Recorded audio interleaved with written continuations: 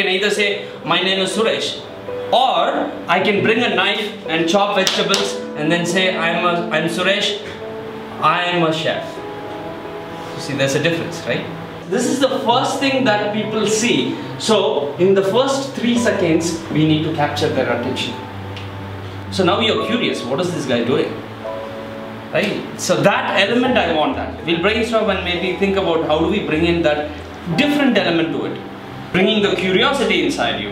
And it shows the personality. Two things I'm bringing. I'm bringing curiosity because it's a shock. What is this guy doing? What is this digital marketing to do with cooking or knife? What makes you start to learn this digital marketing? Here, I'm going to bring in uh, fear. Okay? See here, see I'm trying to touch the emotions and I'm trying to bring in fear. You have to be you have to be scared. If I don't do this course, my colleague is going to get a raise. I will be left behind. So two things. The vision, if I finish off this, I'm going to achieve this.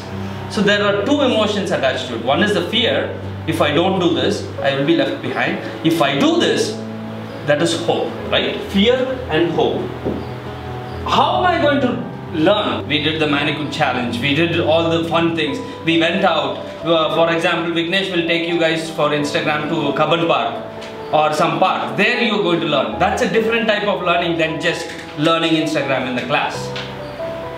Correct? So that fun element should come here.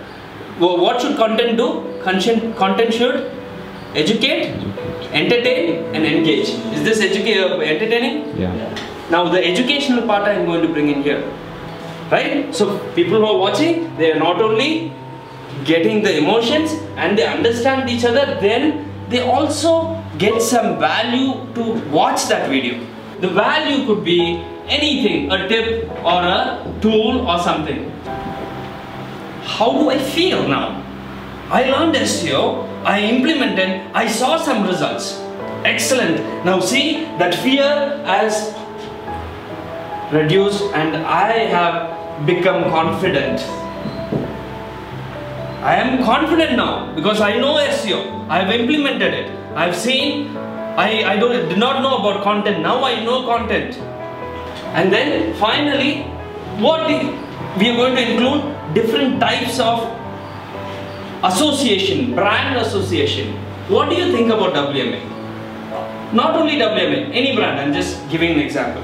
So what is the brand associated with? What is the WMA known for?